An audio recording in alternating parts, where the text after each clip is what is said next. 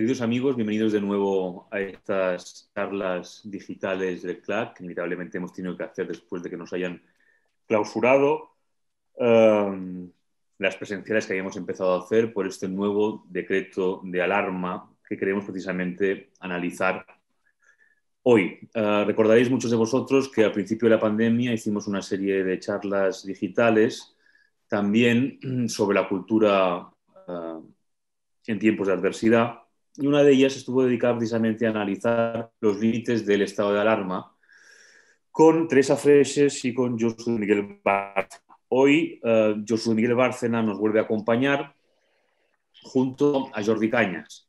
Recordaréis que Josué Miguel uh, es profesor de Derecho Constitucional, uh, ahora en la Universidad de Santander, autor de un libro que no me canso de recomendar todavía, como es el libro que escribió con Javier Tajadura Tejada sobre la controversia Kelsen-Schmidt, y me parece un libro fundamental para tomar conciencia de, las, de, de, de, la, de, la, filosofía que hay detrás del constitucionalismo en el siglo XX y que es uh, además un excelente uh, divulgador. Por tanto, bienvenido Josué Miguel. Muchas gracias. De nuevo aquí al CLAC. Y para Hoy tenemos a Jordi Cañas, que es eh, un político de larga trayectoria, ha sido diputado en el Parlamento de Cataluña y ahora es diputado en el Parlamento Europeo por Ciudadanos. Bienvenido, Jordi. Muchas gracias por estar aquí con nosotros. Muchas gracias. Vamos a, analizar, vamos a analizar este nuevo estado de alarma que realmente, en fin, la situación que estamos viviendo es uh, absolutamente uh, manicomial en muchos aspectos, no solo por la gravísima epidemia que nos asola, sino también por la gestión que está llevando a cabo este gobierno de Pedro Sánchez. Uh, asistimos a un final del estado de alarma a principios de verano con un exultante presidente del gobierno que nos anunció que poco menos que él había derrotado al virus. Uh, luego un verano bastante relajado, sin ninguna estrategia visible con respecto a lo que podría ser y lo que muchos anunciaban que sería la segunda ola en otoño. Y ahora nos encontramos con que de pronto el gobierno de Sánchez ha decretado este nuevo estado de alarma um, para seis meses. Para seis meses um, sin control parlamentario, sin control, por tanto, jurídico y um, con una escandalosa falta de decoro, creo yo, como pudimos ver ayer en el Congreso de los Diputados. Ayer uh, se defendió ese estado de alarma y se votó, uh, fue respaldado por una amplia mayoría, pero el presidente del gobierno apareció durante apenas 40 minutos para escuchar a quien menos tenía que escuchar, que es a su ministro, Salvador Illa, y en cuanto iba a tomar la palabra uh, la oposición, uh, desapareció. Desapareció, fin, yo creo, y eso es una opinión personal, por supuesto, con, demostrando un gran, un gran desprecio por el Congreso de los Diputados, por la sede de la soberanía nacional y por el resto de grupos que hicieron el esfuerzo de um, contestar al presidente, de apoyar ese estado de alarma a pesar de todos los pesares y con eh, la butaca del presidente vacía. Bien, para comentar todas estas cosas, uh, me gustaría dirigirme primero a Josué Miguel Bárcena para que nos contara un poco cuál es su visión desde el punto de vista jurídico. Yo tengo la sensación, hay varias cosas que me preocupan en este nuevo estado de alarma, y una es que nos estamos acostumbrando a la restricción de derechos. Creo que al principio el primer estado de alarma fue un estado de alarma decretado con muchísimo, con muchísimo escrúpulo, con un control parlamentario quincenal, con mucho miedo todavía a, esa excepción constitucional, pero luego hemos visto que ahora ya hay, digamos, una especie como de, uno se ha acostumbrado, por así decirlo, el gobierno se ha acostumbrado a esa excepcionalidad y ha decidido decretar uh, un estado de alarma de seis meses que se parece mucho a un estado de excepción porque un estado de alarma sin control parlamentario, sin control jurídico, con tan solo el presidente del gobierno que al final a regañadientes ha accedido a comparecer pues cada dos meses me parece que es, pues no sé muy bien exactamente cómo, ah, cómo se puede valorar. creo que Vox anunció un recurso de inconstitucionalidad y quería preguntarle también, Josu, qué recorrido le ves a ese, a ese, recurso y cuál es tu opinión como jurista con respecto a la constitucionalidad de este nuevo decreto de alarma. Bueno, pues, eh, en fin, estoy muy agradecido de estar con vosotros hoy aquí, como siempre. Eh, naturalmente comparto la mayor parte de las preocupaciones que has expresado, Andreu, y eh, yo creo que lo mejor es situarse donde has empezado tú, que es que a final de junio los españoles eh, tuvimos noticia de dos nuevos conceptos político-constitucionales. Uno se llamaba desescalada y otro se llamaba cogobernanza. La desescalada venía a decir que, en fin, la pandemia había sido derrotada, tú mismo lo has dicho, habíamos ganado al virus y, por lo tanto, eh, el gobierno de la nación se retira de la gestión de, la pandemia y le otorga, como es natural porque tiene las competencias, a las comunidades autónomas eh, la gestión de los brotes que pudieran ir saliendo. Lo cierto es que, como señalas, a partir de finales de julio, ya en Cataluña empieza un poco el lío con los temporeros, eh, ya durante el mes de agosto, eh, las comunidades autónomas tienen que empezar a tomar algunas medidas que limitan derechos de manera un tanto importante. la primera acción del gobierno, como no se había hecho ninguna reforma legal desde marzo, muchos habíamos dicho que había que reformar el derecho administrativo de necesidad e incluso la ley del estado de alarma, la ley orgánica del estado de alarma de, excepción y de sitio, no se ha reformado.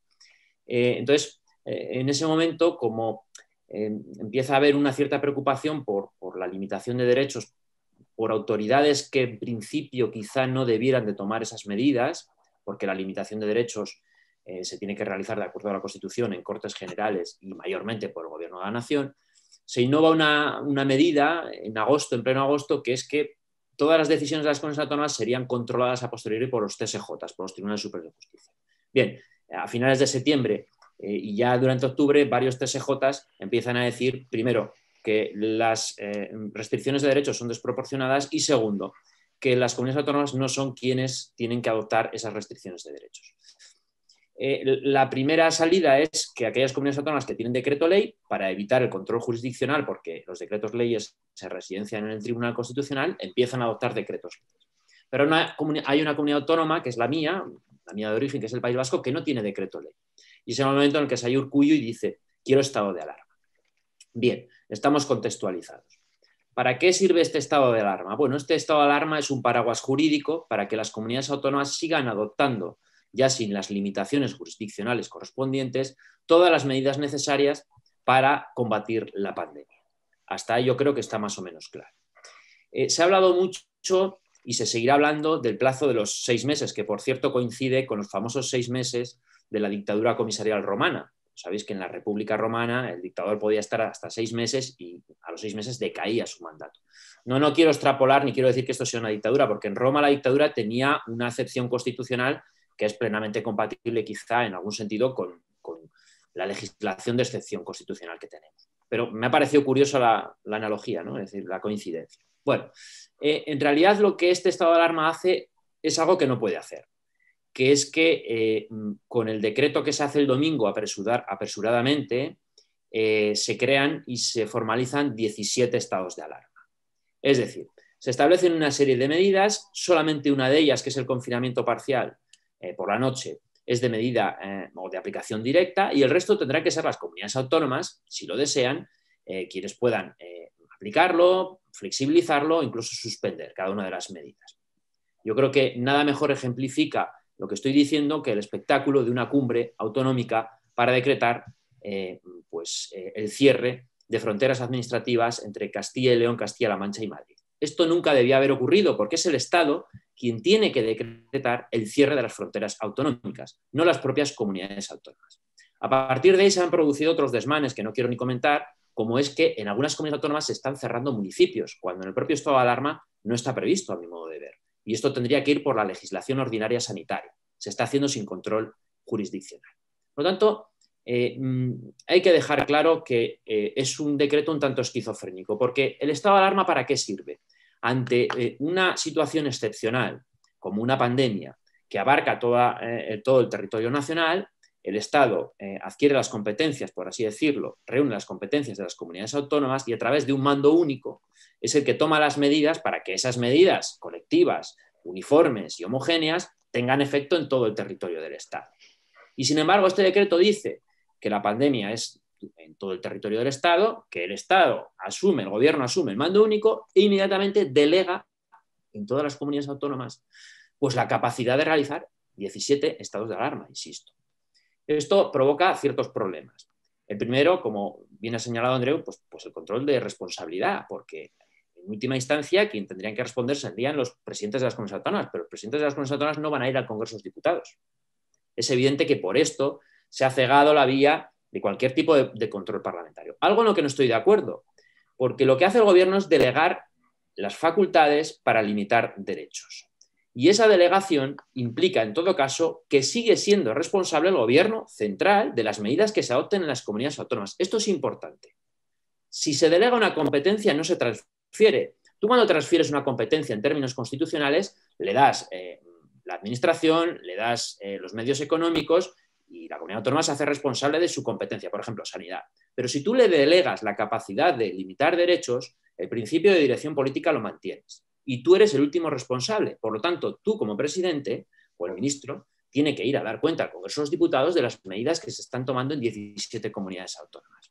Por esto digo que a mí lo de los seis meses me inquieta, pero no me parece lo más grave del decreto. Yo creo que lo más complicado del decreto es que no se ajusta probablemente ni eh, al espíritu naturaleza del derecho excepcional del 116, derecho de emergencia, pero tampoco a la ley orgánica 4.1981. Eh, y también al, convertir el decreto de alarma en 17 decretos de alarma o 19 decretos de alarma, sustituir el Congreso por este Consejo Interterritorial de Salud, ¿no? Sí, no, esto no es posible, porque eso es una conferencia sectorial. La conferencia sectorial es, un órgano administrativo, eh, yo creo que, está en la legislación del sector público, de la administración, y por lo tanto no es un órgano parlamentario. Ahí es un órgano donde se coopera y se adoptan decisiones comunes para que después, a, partir de unos parámetros comunes, las comunidades autónomas decidan. Pero no es el caso este. Es el Congreso de los Diputados y el Pleno en concreto, o alguna de las comisiones, que yo creo que está establecido en el decreto de alarma, eh, los, que, los que tienen que controlar el, ejercicio de ese estado de alarma. En definitiva, yo lo que creo es que con este estado de alarma tenemos una especie de derecho administrativo de necesidad que ya teníamos antes, pero sin el problema de los TSJ. Es decir, ya los, las comunidades autónomas que nos van a confinar, que nos, eh, en cierta manera, por, pura necesidad, ojo, eh, no estoy poniendo en cuestión que no sea necesario, que van a cerrar una frontera administrativa, etcétera, etcétera, ya no tienen que ir al TSJ y los ciudadanos no pueden recurrir el decreto de alarma. Porque el Tribunal Constitucional, un buen día, en el año 2016, dijo que ese decreto tenía rango de ley. Con lo cual, el control constitucional de ese decreto siempre se residencia en el Tribunal Constitucional y los ciudadanos no podemos recurrir esa norma ante el Tribunal Constitucional. Porque solo pueden hacer Congresos Diputados, Senado, Defensor del Pueblo, Gobierno, Gobiernos Autonómicos, etcétera, etcétera. Este Entonces, por ejemplo, el recurso de Vox, ¿hacia dónde iría orientado en ese sentido? Bueno, el recurso de Vox puede ir orientado hacia lo que yo he dicho, que es un estado de alarma que no respeta el fundamento constitucional del mismo, que es que hay una emergencia nacional y que por lo tanto el mando único no puede delegarse de esta forma, y también puede ir obviamente a los seis meses, porque recordemos que la prórroga inicial es de, de 15 días, pero es que se, son 12 veces más que 15 días, va hasta los seis meses. Yo aquí quiero decir una cosa, es un puede ser un problema constitucional, pero lo veo más como un problema de eficacia. Me explico. Si tú fijas en un decreto las medidas que puedes adoptar, ese decreto es inamovible hasta que el Congreso vuelva a hacer otro.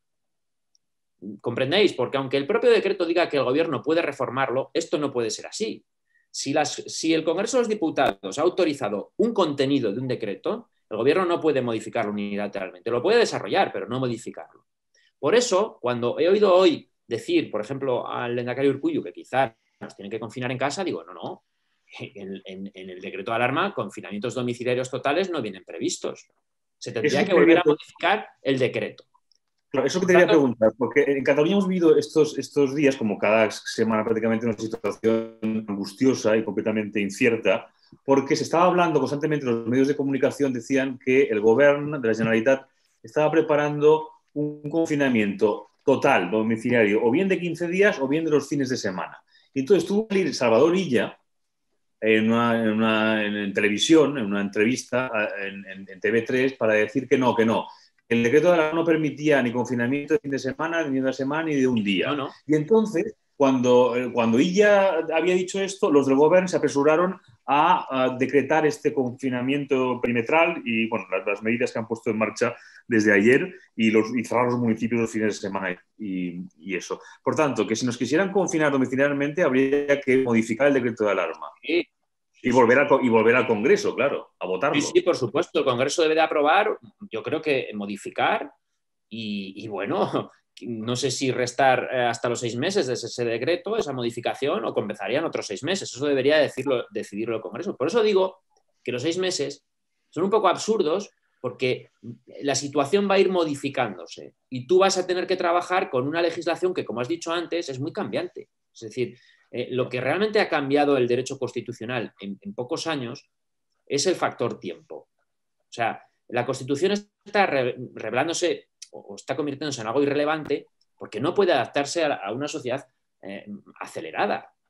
Es decir, es imposible que nos adaptemos eh, con la legislación ordinaria y con la Constitución a situaciones que están desbordando el marco y que no estamos preparados, no, son normas flexibles. Ahora, ahora, yo también quiero decir una cosa, desde el 14 de marzo hasta hoy, que me parece que es 30 o 31 de octubre, eh, hemos tenido tiempo para hacer incluso hasta reformas constitucionales. ¿eh? Porque una reforma constitucional del 116 eh, requiere las mismas mayorías que para elegir a los vocales del Consejo General del Poder Judicial. Tres quintas partes. Luego volveremos a eso. yo te quería preguntar también sobre la propuesta que había hecho el Partido Popular de reforma de, la ley de sanidad, creo que era. Pero voy un momento a Jordi, para que nos cuente cómo ve la, cuestión, cómo, ve el, decreto del arma desde su perspectiva como, parlamento, como diputado del Parlamento de Europa. Jordi, cuando quieras. Bueno, yo, eh, vamos a ver, los responsables políticos tienen que primero cumplir la ley.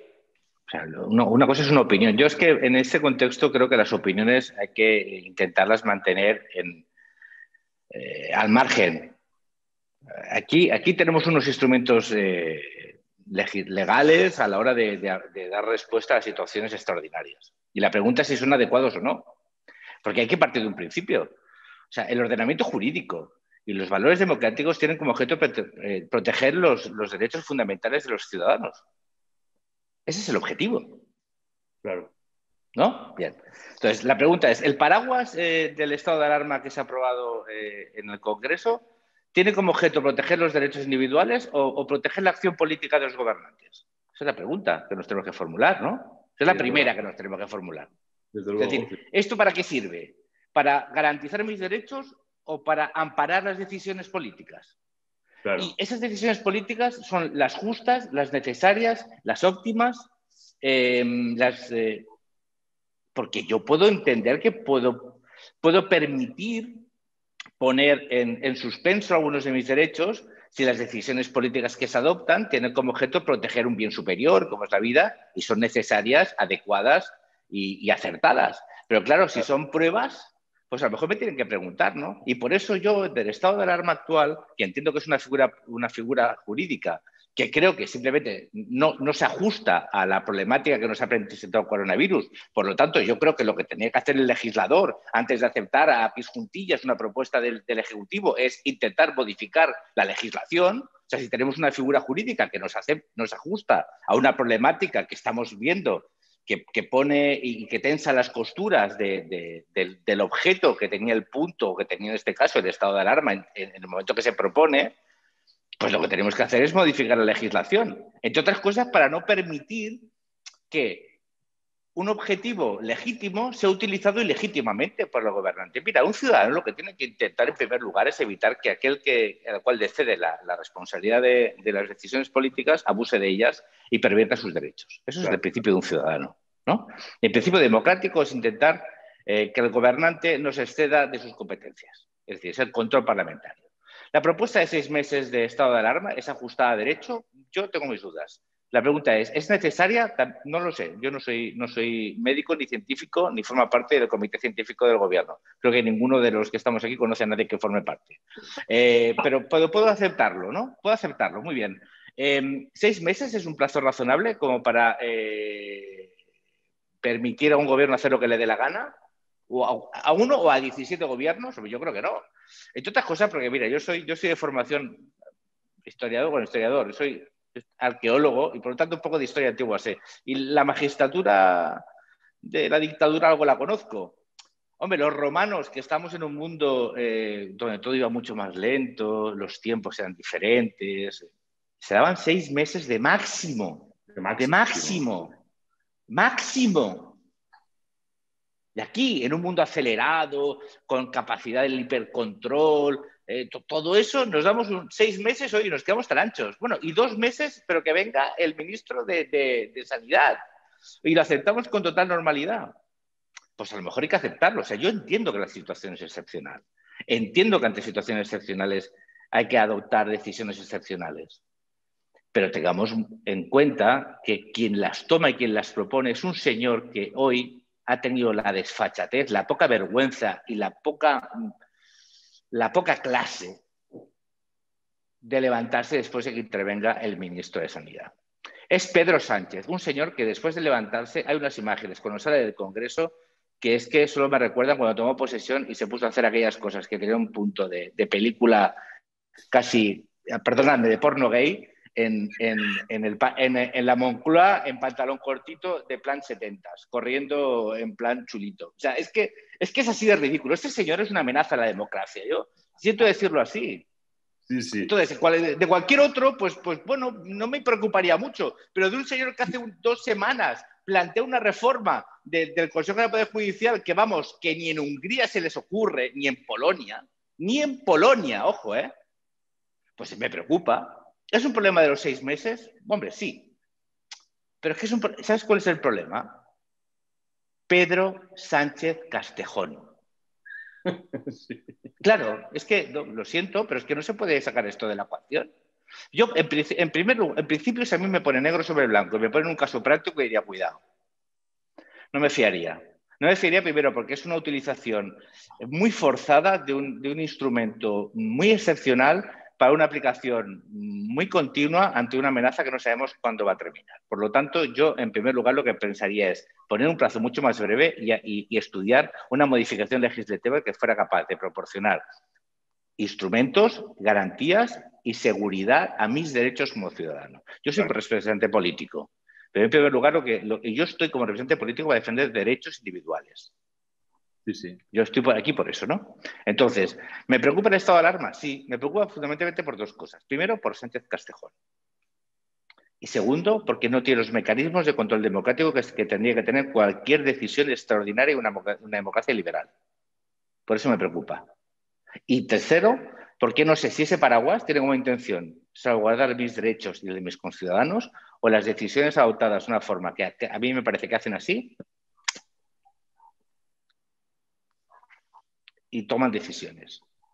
Porque, hombre, yo no sé, si alguien piensa en Castilla y León hay que hacerla perimetralmente, en Castilla-La Mancha hay que hacerla perimetralmente, pero en Madrid no, y eso está fundamentado en criterios científicos, pues hombre, a mí, que yo no, soy, yo no soy científico, pero sí que entiendo los razonamientos, tampoco muy complejos, pero algunos normalitos los entiendo. Entonces, no entiendo cómo alguien eh, decide que por criterios científicos Madrid no hay que cerrarla y Castilla y León y Castilla-La Mancha sí. ¿Vosotros lo entendéis? No, Porque yo no, ¿eh? Y entonces, acabo, voy a los básicos. ¿Quién defiende mis derechos? Que son míos, no son cedidos. Yo puedo ceder puntualmente y extraordinariamente si alguien me justifica muy bien y con un control exhaustivo y periódico para poderlos retornar, para retornármelos. Si no, en primera instancia me preocupa y me preocupa mucho.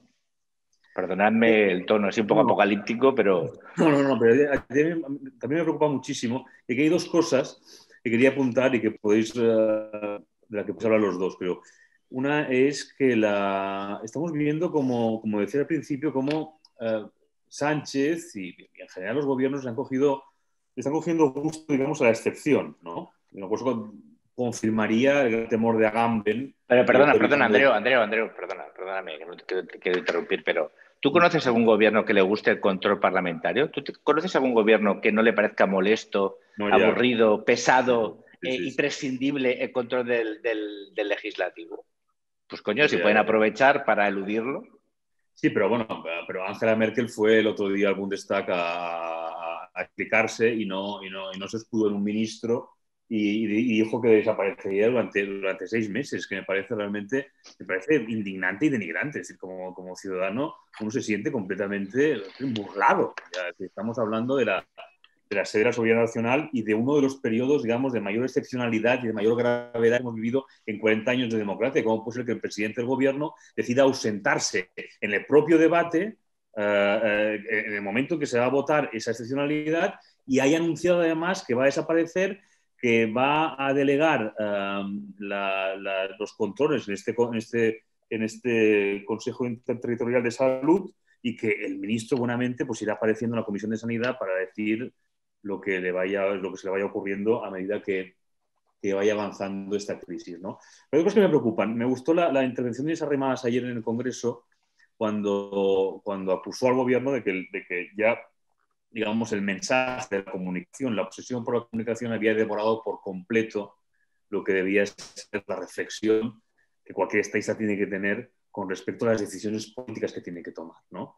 Y parece que estuvo ahí muy acertada, porque ese es un gran problema, como estamos viendo, es un problema que llevamos arrastrando, creo, en la política desde hace mucho tiempo, ¿no? pero esta crisis lo ha puesto de manifiesto y es realmente de una frivolidad eh, insoportable, ¿no? Como la comunicación, incluso en un momento tan grave, el marketing, la imagen, está destruyendo la política, lo que tendría que ser la política, la capacidad de llegar a acuerdos, en fin, la capacidad de escuchar y de hablar en el, Parlamento.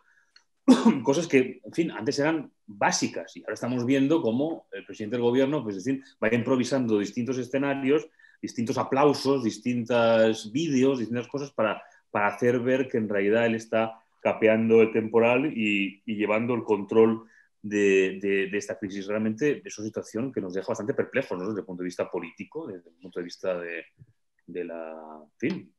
ya, pero, pero Andreu, esto es un tema, perdóname, eh, eh, que es un tema muy, muy, muy nuestro, porque tú ponías los ejemplos de Merkel y de Macron, ¿no? muy recientes, muy frescos, ¿no?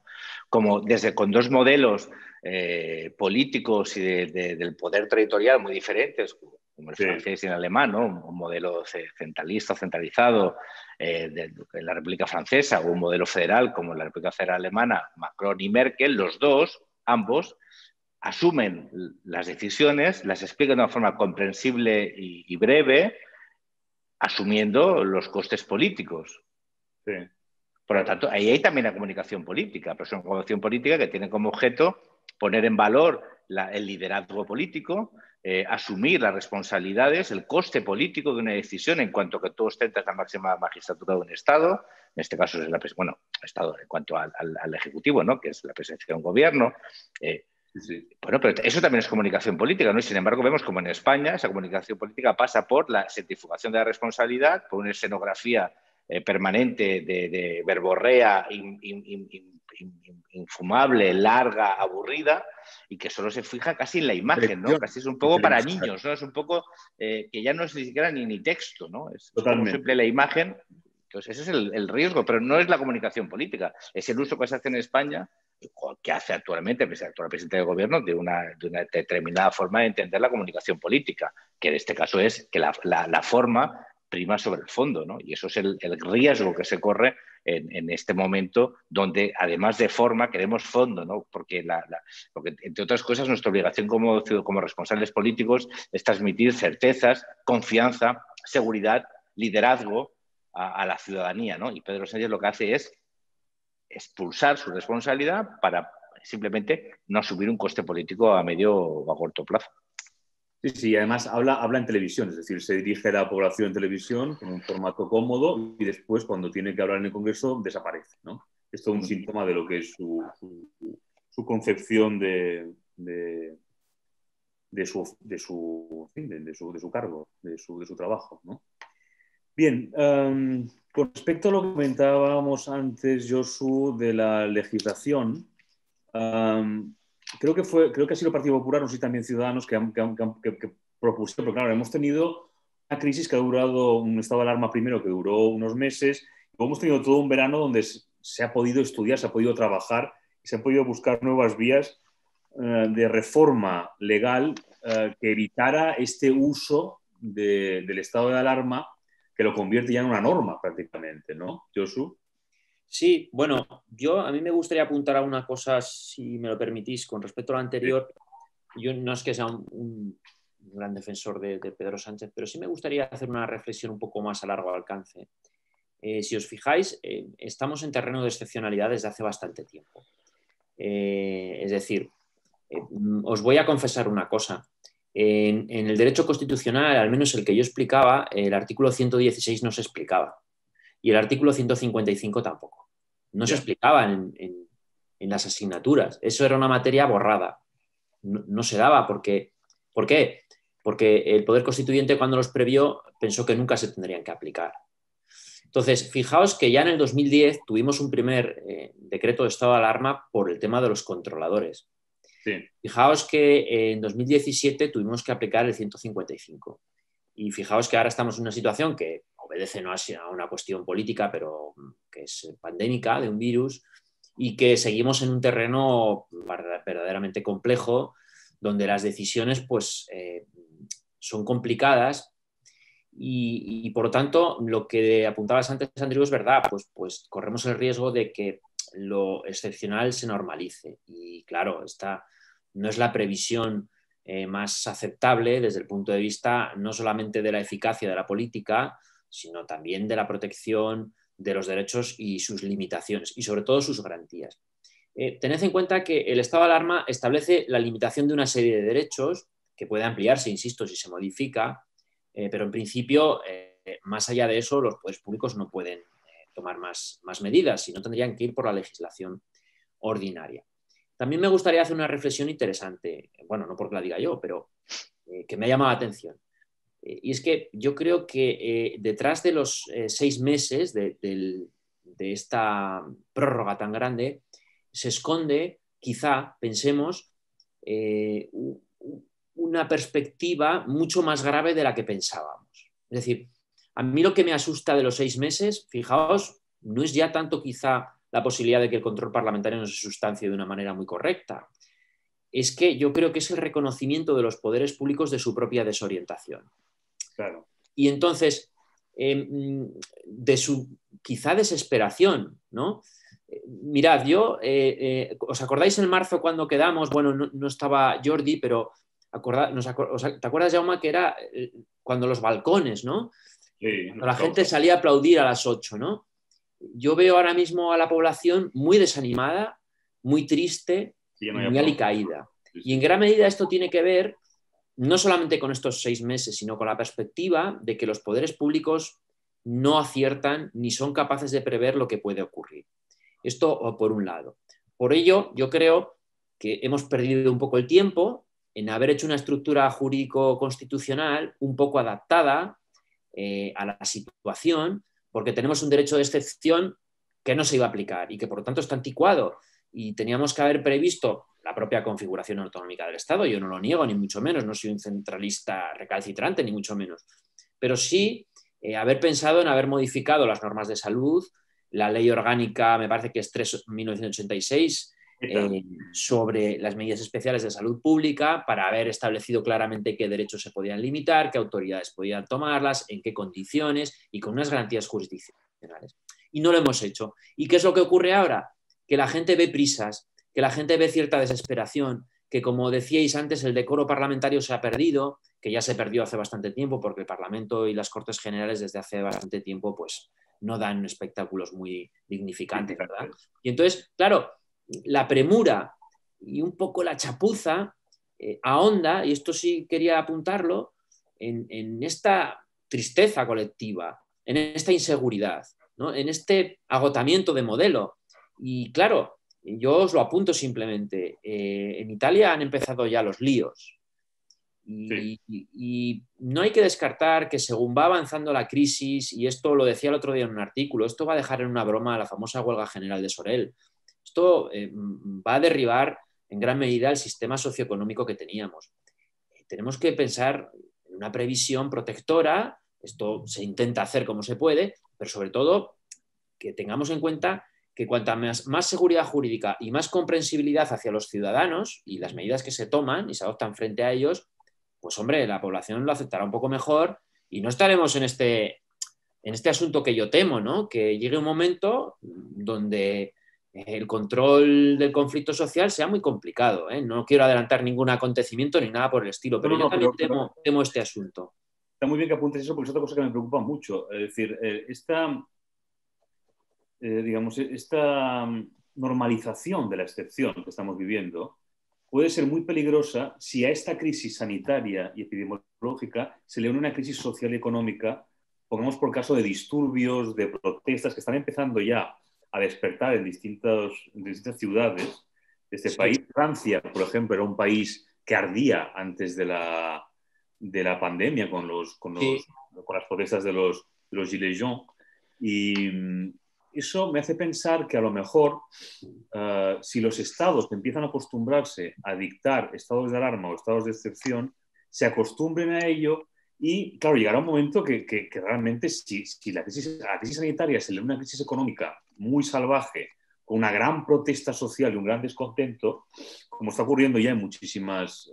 Por aquí, por ejemplo, la CUP hizo ya un... Bueno, perdona que te corte. Ayer en Bilbao hubo una manifestación de negacionistas que acabó con 20 contenedores quemados, 6 detenidos y, vamos, eh, la sorpresa generalizada y la estupefacción por parte de los poderes públicos. Nadie esperaba que en el corazón de Bilbao pudiera haber una manifestación de este tipo. Resultó muy, sorprendente y muy preocupante. Me parece que, y he leído antes que ya, que ya hay disturbios hoy en la Plaza San Jaume de Barcelona.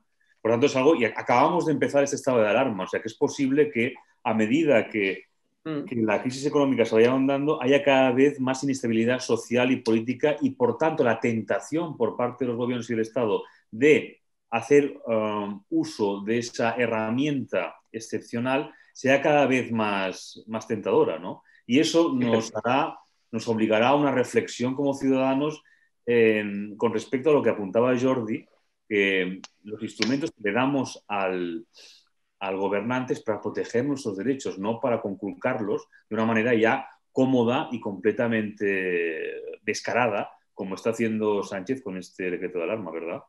bueno, yo sí, a ver, lo que pasa es que eh, tenemos que partir de algunos, o sea, yo creo que estamos en un contexto en general, nos movemos, estamos cabalgando un momento histórico donde eh, hay muchas cosas que se entendían como axiomas eh, que ya están en cuestión, ¿verdad? Bueno, y que estén en cuestión no tiene por qué ser necesariamente malo, porque puede significar que se refuercen o que se cambien. Bueno, pues la pregunta es, ¿seguimos pensando que la democracia es el menos malo de los sistemas? ¿O no? Algunos defendemos que sí. Entonces, lo primero que tenemos que hacer es seguir defendiéndola. Y la democracia no entiende atajos, tiene unos costes, claro. A lo mejor no es el mecanismo más eficiente, más ágil, más plástico, más inmediato para hacer frente a algunos problemas, pero es el que a medio y largo plazo nos garantiza nuestras libertades y derechos. Y, creo que los ciudadanos tienen una responsabilidad, pero especialmente lo tiene la clase política, que es aquella que entiende las consecuencias de determinadas decisiones. Eso, y, y, creo que estas preguntas, a lo mejor ahora puede parecer un poco marciano formulárselas, pero es que ahora es cuando están en cuestión. Porque cuando vemos que un gobierno yo repito, un gobierno liderado por un personaje muy concreto como es Pedro Sánchez, porque no podemos disociar las decisiones políticas de los líderes de su propia condición, eh, aprovecha un contexto como este extraordinario para eh, liberarse del control democrático de un Parlamento, es porque sus intenciones, yo no sé si son autocráticas, pero desde luego no entienden cuál es su responsabilidad como presidente de una democracia liberal. Sí, sí. Y eso, eso, y eso yo creo que es sujeto del análisis y, por supuesto, de la opinión y también de la crítica, porque eso es muy relevante, porque, repito, en general, los, los, eh, todos los gobiernos entienden que el, control el control legislativo es tedioso. ¿Por qué la democracia es tediosa? Porque requiere de búsqueda de acuerdos, de consensos, de aprobación, tiene unos mecanismos de check and balance permanentes cuyo objetivo es que nadie eh, aproveche su condición para acabar eh, drenando tus derechos. Es, es, que, vamos, la democracia al final son básicos. Eh, o sea, vayamos a los básicos, ¿no? Y este contexto que nos enfrenta a problemas nuevos y complejos también nos está enfrentando a problemas muy básicos. Y tengamos mucho cuidado con las decisiones que tomemos y con aquello que aceptemos. Y creo que eso es, imprescindible. Mira, el fondo y la forma son fundamentales. A veces confundimos el exabrupto con, con, el Parlamento español. Eh, no es muy diferente del parlamentarismo británico. La forma del parlamentarismo británico es muchas veces, vamos, de taberna, pero a altas horas de la noche. Pero el fondo no lo es. Y aquí confundimos el fondo y la forma, porque a mí me parece, mucho más ofensivo y mucho más preocupante y mucho más grave para una democracia el comportamiento de hoy de este gobierno, de este presidente, y su propuesta aceptada final en el, Congreso de exención excepcional de los controles eh, parlamentarios que no que un señor eh, diga una palabra más alta que otra o tenga un comportamiento que en el fondo solo le califica a él, pero no al sistema. Lo que califica al sistema es que permita eh, que se obvie sus mecanismos de control, ¿no? Entonces, en serio, seamos un poco adultos. No lo digo por vosotros, que sois mucho más que yo, y mucho más. pero, oye, de verdad, no, confundamos las cosas. Y, para acabar, ¿no? Decía antes eh, Josu que estamos en prácticamente una, una, terra incógnita, ¿no? Terra ignota. ¿Os acordáis de los mapas antiguos? ¿no? Que ponía Ixun leones o Ixun dragones. Bueno, hasta que se cartografiaban, ¿no? El problema es que cuando, cuando, se cartografíen, sigamos permitiendo que haya leones o dragones ahí. Porque el problema es que los podemos permitir. O sea, estamos intentando cartografiar espacios nuevos, estamos permitiendo y legitimando que haya dragones o leones. Y no podemos permitirlo, ¿eh? tenemos que avanzar, tenemos que perfeccionar nuestros instrumentos, tenemos que mejorarlos, adaptarlos. Eh, es lógico también los legisladores tienen que eh, aprovechar los momentos de dificultad para adaptar los, mecanismos legales para hacer frente a los problemas excepcionales como este, pero también tengamos mucho cuidado porque nos estamos jugando principios básicos y a este país le ha costado mucho entender y tener ese suelo democrático de principios comunes de defensa de valores y de derechos individuales, ¿no? O para que ahora los pongamos eh, tan rápidamente, de una forma tan alegre y tan frívola, eh, al servicio o sacrificados en especie de altar de Moloch de una seguridad que ni siquiera garantiza esa, cesión de derechos, ¿no? Porque, repito, desgraciadamente ni, estamos seguros de que esa cesión de derechos individuales vaya a garantizar eh, la salud y la sanidad y, la vida, ¿no? Sí, ese es otro problema también. Hay dos cuestiones también aquí. Lo que me sorprendió ya fue cuando, cuando Pedro Sánchez salió el otro día en televisión anunciar, anunció ese, ese estado de alarma. Es decir, anunció ese estado de alarma, lo dio por hecho, cuando lo que tenía que haber hecho a mi juicio es decir, voy a proponer al Congreso de los Diputados un estado de alarma de seis meses y lo vamos a discutir. Lo anunció y pidió una mayoría abrumadora, es decir, pidió una aclamación, con lo que puso al Congreso entre la espada y la pared, obligando a todos los grupos a apoyar una medida eh, que si no apoyaban tendría como resultado el caos absoluto en todas las autonomías. ¿no? Por lo tanto, me parece una operación especialmente perversa. Luego, otra cuestión, eh, ya más general, y con esto podemos... Perdón, Andreu, ¿se va, ¿se va, a limitar el presidente del gobierno sus intervenciones eh, en público? ¿Se va a limitar sus, a los presidentes de los viernes o sábados? ¿A que no? O sea, no, no. ¿Por qué no? O sea, por la tele sí, pero en la sede de la soberanía popular, donde reside el, control eh, del, legislativo sobre el ejecutivo, ahí no va a ir, pero la tele sí. Pues sabéis eso cómo se llama, ¿no? No, sí, realmente es grotesco, es grotesco todo esto. Bueno, probablemente, perdón, probablemente si tuviera una mayoría más amplia, eh, es decir, si, si, el gobierno tuviera una mayoría parlamentaria, que no la tiene, evidentemente, eh, no se vería la necesidad de hacer estas cosas. Es decir, que yo creo que el gobierno de la comunicación surge precisamente como sustitución del gobierno de la realidad. Es decir, que cuando hay un, ejecutivo más o menos estable, pues no tiene necesidad de tirar de, la propaganda, no lo digo en sentido peyorativo, ni, ni de salir semanalmente en televisión, simplemente ejerce sus tareas y sus funciones de acuerdo a esa mayoría o a esa estabilidad y no tiene que abusar, como decía antes Jordi, de, la comunicación ni de, ni de esas apariciones un tanto plebiscitarias o cesaristas. ¿no? Esto también me parece importante, que es una posición de debilidad. Sí. yo eso, pero mira, nosotros, por ejemplo, te hablo, no, no quiero hablar de. Yo generalmente cuando intervengo en este tipo de, espacios no, no, me gusta hablar de yo de ciudadanos, bla, bla, porque ya todo el mundo sabe por dónde estamos. Pero oye, nosotros hemos,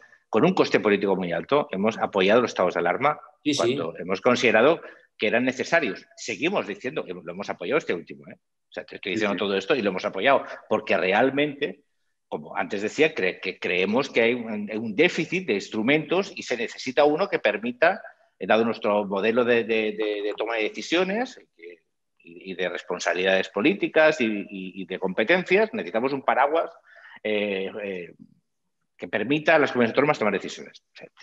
no te quiero decir esto y lo contrario, o sea, pero, pero la verdad es que no o sea, la, democracia requiere de diálogo y nosotros nunca hemos estado para dialogar, pero es que no quiere diálogo. O sea, quiere dictats. Entonces, claro, el problema no es que no tengas, no tenga con quién dialogar, porque tú imagínate que tuvieses toda una oposición refractaria a llegar a ningún tipo de acuerdo que está haciendo una, una permanente labor de zapa contra el gobierno, aprovechando sin darle un margen de maniobra. No es así, es que simplemente no lo quiere. Es que no quiere venir a, explicar si es necesario mantener el estado de alarma, porque nosotros hemos demostrado que si es necesario lo apoyamos.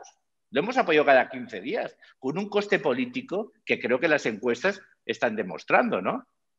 Y lo hemos apoyado. Y, hemos apoyado este y hemos intentado que venga, que sea él el que dé las explicaciones. No es que ni eso. Es que parece que quiere que le digan que no para justificar que es que los demás son muy malos. Oye, o sea, entiendo lo que dices, pero es que desgraciadamente la realidad es que simplemente es que no quiere, no quiere tener que negociar nada, no, tiene que, no, quiere dar explicaciones. Bueno, es que este es el momento de la, gran política. Quiero decir, este es el momento, yo lo dije en marzo, lo sigo repitiendo diariamente, necesitamos un gobierno de concentración nacional. Y a partir de ahí, yo creo que los ciudadanos podrán pasar más o menos penurias pero entenderán las medidas que se adopten de una manera consensual y con un clima político muy distinto. Yo creo que esto habría sido muy importante. De ahí también que yo pues sea pesimista y esté triste, ¿no? Porque pensaba que si en un momento así no estamos juntos, ¿no? Eh, si no hay motivos para buscar un consenso, ni hay motivo para dejar de utilizar la lucha partidista, tal como se hace, porque yo también os quiero decir una cosa. Mi impresión es que este estado de alarma es una respuesta al discurso de Casado la semana pasada. Es decir, eh, eh, hay un gobierno y un presidente que también busca un espacio político y, estamos en un contexto de pandemia, ¿no? entonces se trata de achicar el espacio al partido de la oposición, al principal partido de la oposición. Pues triste, muy triste también. Entonces, pues, claro. una forma de neutralizar el, Congreso otra vez, claro. Tengo pocas dudas, sí. Tengo pocas dudas tristemente parece. pero eso, mira, eh, yo creo que todos, más allá de nuestras responsabilidades, nuestros oficios, eh, nuestros gustos, nuestras... Somos ciudadanos que tenemos entornos, familia, amigos, conocidos, y en general, como tú muy bien decías antes, hay, un desánimo, porque es lógico, son las, famosas etapas que, se, suceden ante cualquier dificultad. Estamos en un momento de desánimo donde yo es que ni siquiera veo que esto sea útil.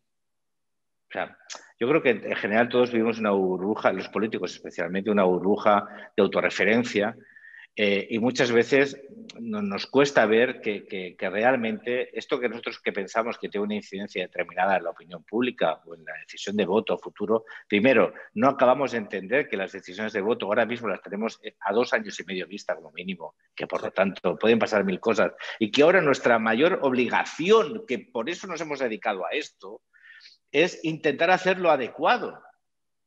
De verdad, es que, es que además que yo pienso que eso además tiene rédito político, pero yo siempre digo, donde no haya virtud, que haya, o donde hay interés, que haya virtud. Oye, pero es que ahora mismo no estamos en ese escenario donde estar achicando espacios o tal. De aquí a dos años y medio te voy a garantizar nada. Ahora estamos en un contexto donde hay millones de españoles que no saben qué va a pasar de ellos, con ellos de aquí dos meses o tres. Que tenemos unos datos económicos que son terroríficos que tenemos unas previsiones económicas horrorosas, de empleo tremendas y, de salud que no sabemos. Entonces yo creo que en general todo el mundo debería intentar hacer el esfuerzo por intentar contribuir en la medida de lo posible a transmitir en un contexto que no hay certezas, porque no las hay. Oye, Macron ayer cerró, Francia.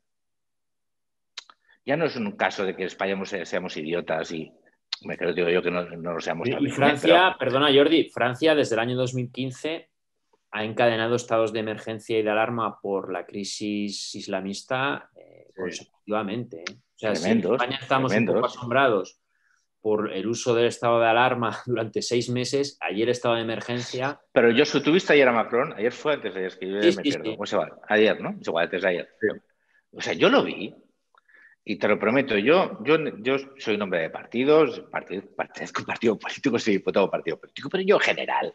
Oye, cuando que lo hace bien, a mí me gusta reconocerlo, porque como yo soy del Barça, pero cuando el Barça dirá, juego bien hecho, ole tú, porque sí, sí, no pasa nada. Si no le hace uno peor esto. Yo cuando vi a Macron pensé, jopa, qué envidia tú. Qué envidia. Ya, pero es que han construido una cultura política que es muy anciana, es muy... Bueno, pero es que nosotros ahora podemos... A pesar de que estemos en una situación... ¿no? De, yo, pero nosotros, nosotros que somos, yo no soy joven, ya tengo 50 años, ¿no? pero, pero, eh, pero Pedro Sánchez que tiene 40 y pocos, eh, Pablo que tiene 40 y pocos, Inés que tiene 38, son de una generación que tendría que aprovechar ese suelo de, de cultura democrática sedimentado desde la más absoluta dificultad por aquellos que nos precedieron, para construir sobre él una, cultura política que, el contexto, no te voy a decir que obliga, sino que además facilita. O sea, este contexto facilita el rol de estadista de nuestros políticos. Porque es que la ciudadanía además lo valora. O sea, esto no tiene un. hay veces que tiene un coste político, ¿no? Pero ahora mismo, repito, con unas elecciones a dos años y medio, cualquier posición que sea leída como una posición sensata, constructiva, en, pro del empleo, de la salud, de la economía, del bien de España, no tiene un coste político. Te, repito, que si no es por virtud ni que sea por interés. O sea, de verdad, o sea, tenemos que, construir una cultura política. Ya basta decir que no la tenemos. Claro que no la tenemos, coño. Hemos estado 40 años de dictadura, llevamos muy poco tiempo en la democracia. no pasa nada, no pasa nada. Pero tenemos, o sea, lo que no puede ser es que, que al revés, cada año que pasa parece que hemos erosionado el patrimonio que nos dejaron. No, no, solo es que no construyamos, es que estamos erosionando, dilapidando un patrimonio, ese suelo político, de cultura política que algunos eh, que, no la tenían y que, las dificultades más extremas la consiguieron eh, construir, nosotros la estamos, en vez de, siguiendo construyendo, de, avanzando, la estamos utilizando y desperdiciando. ¿no? Entonces, yo, yo, repito, claro que no tenemos la cultura política de Francia, claro que no tenemos la cultura eh, democrática, ni si, bueno, democrática pero bueno, por ejemplo, de cultura federal de Alemania, obviamente no la tenemos, pero son estos momentos donde hay que construirla. O sea, la cultura federal, este era un momento para construirla, pero la cultura federal, como Dios manda, ¿sabes? Pues con lealtad federal, con coordinación federal, con mecanismos de articulación federal. O sea, claro que se podía haber aprovechado esto, pero si la cultura federal aquí es, es, sacarte las responsabilidades y comete todo el marrón, pero ¿cómo vamos a avanzar así en cultura democrática y política? Por el amor de Dios. Y si ya, eso es lo que a mí me duele más. Sí, ya, costó abrir el Parlamento en la primera, el primer decreto de. Acuérdate, de acuérdate. Abrirlo y ahora, no, y, ahora, y ahora está abierto en funcionamiento, pero el presidente decide no comparecer. Por tanto, es ah, realmente una, situación completamente. Bueno, recordad, voy a decir una voluntad, me vais a perdonar, pero eh, el presidente de Francia es licenciado en filosofía, hizo su tesis sobre Hegel y después se graduó en la alta escuela esta de funcionarios en ciencias políticas. Quiero decir que es que eh, estas no son cosas que pasan porque sí. ¿eh?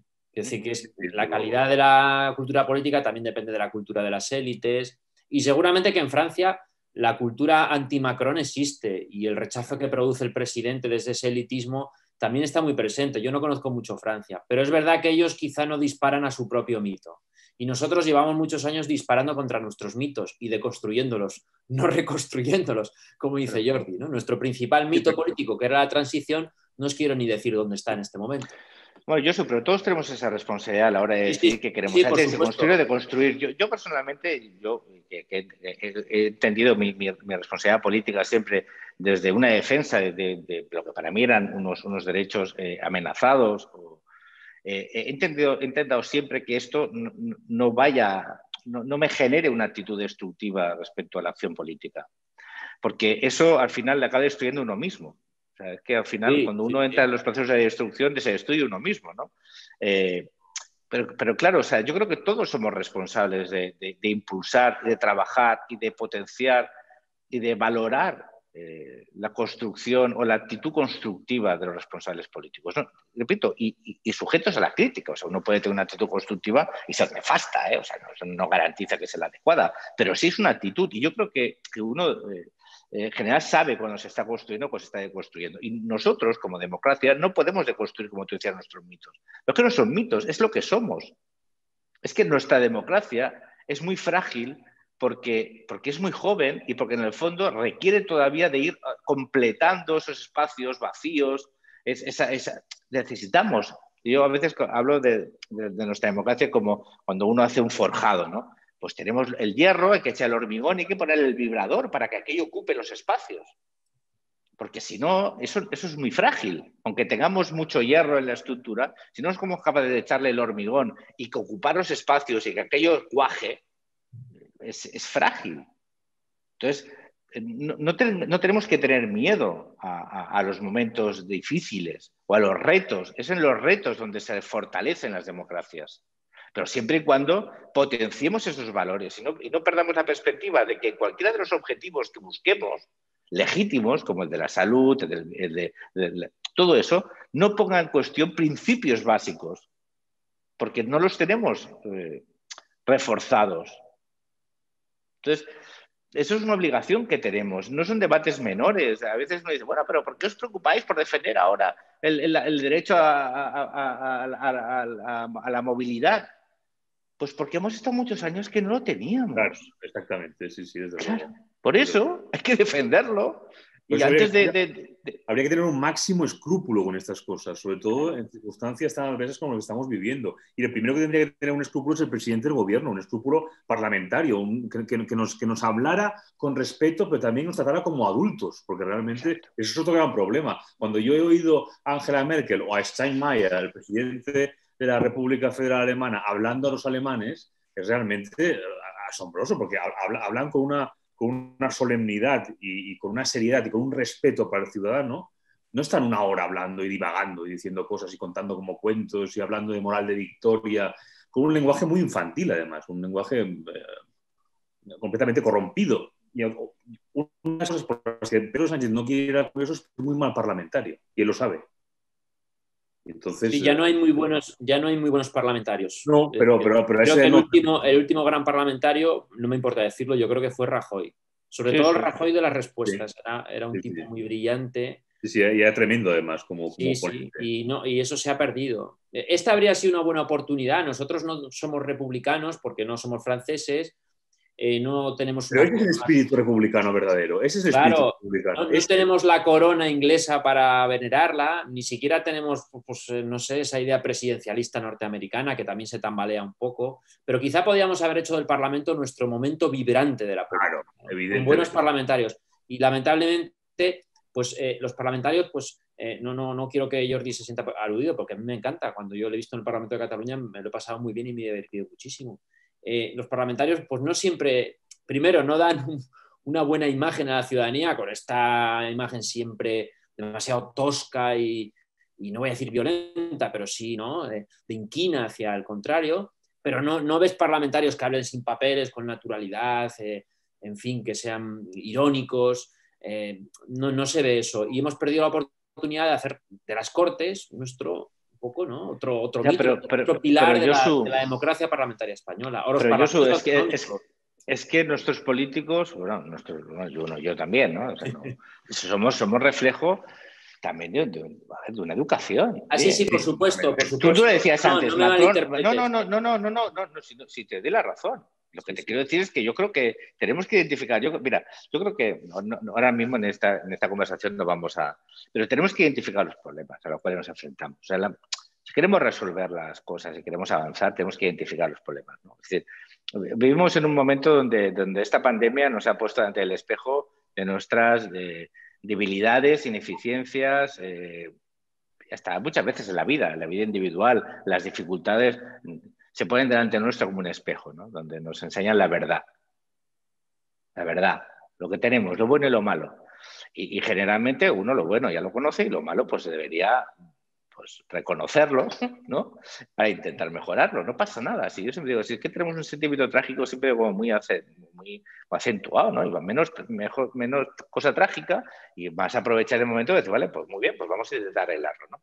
Claro, tú decías, eh, Macron, claro, Macron, Macron es, un, es un, puede ser elitista, pero es, es, un, es un señor que su forma de entender la política se fundamenta en una, una formación pues muy, muy sólida, muy interesante muy, muy amplia, muy, muy coral, eh, filosofía, economía, eh, es un enarca, y eso es malo, pero también es bueno. ¿Por qué? Porque tiene un acercamiento a la cultura, a, la belleza, al, relato, la construcción semántica, sintáctica, pues que se le nota, se, le nota, pero también un respeto por, los, valores y principios que, él eh, entiende que, que representa sea, yo, yo soy republicano, pero a mí el concepto republicano morado me da lo mismo. Yo pero es que me da lo mismo, el rey da lo mismo. Corea es una república y Holanda es una monarquía, me da igual. Es una cuestión de principios. Y los principios republicanos, en el, forma, en el fondo, es una forma de entender qué es uno, en una, qué, es una, qué, qué sociedad eh, vivimos qué respeto tenemos sobre los ciudadanos y qué somos. Nosotros somos, yo soy un representante público, para mí siempre ha sido un honor y ha sido un, siempre ha sido una deuda con mis ciudadanos y mi objetivo es representarlos y por lo tanto ser un interpares. O sea, uno tiene una, ostenta una magistratura, pero en el fondo es delegada. Tú lo representas. Por lo tanto, ese trato como adultos es que es, que es el lógico en aquel que entiende cuál es su responsabilidad, porque es que es el normal te estás dirigiendo a aquellos que tú representas, a aquellos que han delegado en ti la facultad, la posibilidad, la magistratura. O sea, es que sería lo normal. Cuando no es así es porque no entiendes qué eres, cuál es tu rol, tu papel, por qué estás ahí, por qué estás ahí. No para qué, sino por qué estás ahí. Bueno, hay una para qué es evidente. Jordi, hay una disolución de, todas de todos los modelos institucionales, de todas las instituciones sociales. Hay una cierta disolución. Yo a los alumnos siempre les digo que eh, a mí me encanta tener ciudadanos críticos, que esto es una cosa muy de la cultura pedagógica española, crear ciudadanos críticos y que piensen por sí mismos. Pero yo siempre les digo a los alumnos que tienen que estar preparados como ciudadanos eh, para la decepción. O sea, mm lo que decías antes, la democracia probablemente es el menos malo de los sistemas políticos y a veces es decepcionante. Y ahora tenemos un problema gordo, hemos tenido muchos, y evidentemente eh, la economía de la decepción en los ciudadanos es muy importante. Y yo no os quiero decir nada, pero eh, veamos lo que ha ocurrido en Cataluña durante ocho años. ¿no? Eh, ahí hemos visto los cimientos de la sociedad, lo que era la sociedad civil, que no existía, que ha bastado un poco de aquí y de allá para conformar un nuevo lenguaje, para transformarlo, para jugar a, lo plebiscitario, etcétera, etcétera. Y, bueno, pues los cimientos no existían. Yo creo que en España tenemos un problema desde ese punto de vista y te doy toda la razón. ¿eh? Los políticos son al, fin y al cabo el reflejo de la propia sociedad y de la dinámica de la sociedad. Y si pues bueno, no se premian estas cosas, quiero decir, Angela Merkel estoy seguro que hizo su tesis, la hizo, es química y es doctora bueno, pues. En fin, no. No, pero, no, pero fíjate, si quieres lo puedes decir ahora porque parece que estás como una especie como de frivolidad analítica. No, es que es, que es un reflejo del. que es así. yo me acuerdo del debate sobre la tesis de Pedro Sánchez y, bueno, en fin, yo no quiero decir nada, pero. Pero, pero mira, eh, eh, mira, te voy a decir una cosa. Yo estoy en el Parlamento Europeo, ¿no? Yo estoy en la Comisión de Comercio Internacional. Había un comisario que era Hogan, un tipo brillantísimo, bueno, Hogan tuvo que dimitir porque fue una cena con, una cena que le habían invitado en el club de golf del Parlamento eh, irlandés. El tipo dijo, oye, que por cierto, que cumpláis las medidas, ¿eh? Y club de golf del Parlamento irlandés. Lo invitan, el tío va como comisario y había sido ex parlamentario del, en el Parlamento irlandés. la gente se entera que no habían cumplido el número y las distancias y las medidas y tuvo que dimitir. Ya. Ya. Bueno, pero tuvo que dimitir en Bruselas, no, no en Irlanda, aquí, ¿eh? Ya, es que, es que Europa es el último asidero que tenemos, ¿eh? Bueno, ya, pero, es, importante que, pero es importante que lo usemos. ¿Tú por qué te crees que Pedro, ¿tú por qué crees que Pedro Sánchez se tiró para atrás con la reforma del Consejo General Poder Judicial? Claro. Yo, si queréis, después os, lo explico. Ya, ya, ya. Mira, ese, podría ser otro, otro, otro debate. Os, os, os invitaría a hablar otro día esas cuestiones porque estaría horas hablando con vosotros. Ahora ya nos iríamos, digamos, a una cuestión más general que serían los problemas que asolan a la democracia representativa y uno de los problemas precisamente es el descrédito de la palabra, el descrédito de la discusión en el Ágora, cosa de la que ya autorizó Hanar entre los años 50, por cierto. Y en fin, os agradezco muchísimo a los dos uh, que hayáis estado con nosotros aquí. Vuestras intervenciones han sido muy estimulantes y enriquecedoras. Y a todos vosotros que os habéis seguido, pues muchas gracias por acompañarnos. En el CLAC seguiremos proponiendo charlas y debates para poder sobrellevar lo que ya se anuncia como el invierno de nuestro descontento. Gracias a los dos, gracias Jordi, gracias Josu. Y gracias a ti y a todos vosotros. Gracias, gracias.